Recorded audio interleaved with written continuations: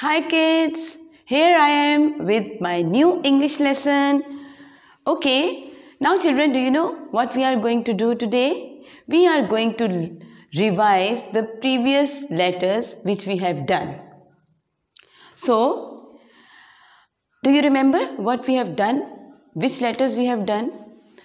We have done letter A and its sound and letter B and its sound. So, do you remember what is the sound of letter A? Yes, letter A sound is A. What is the sound of letter A? A. And do you remember which words start with A sound? Now, here are the words start with A sound. So, we will read these words apple apple. A aeroplane.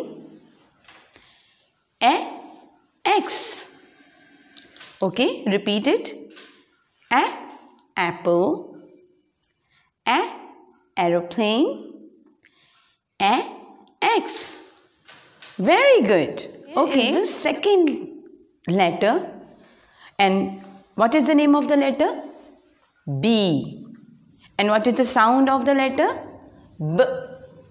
So, say B, B. Very good. One more time. B, B. Okay, let's see which words start with B sound. Now, here are the words.